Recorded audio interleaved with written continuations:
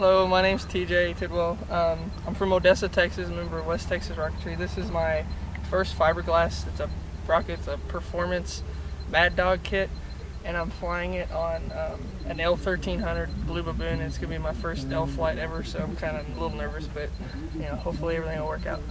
How high is it going to go? Uh, around 7,000, 7,100.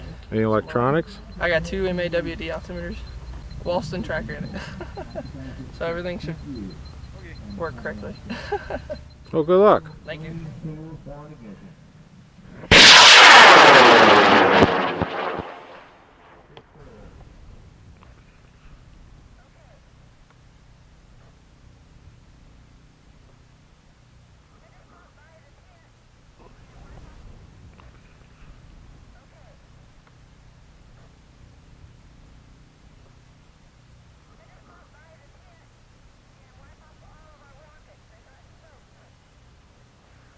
It's going to be in the field.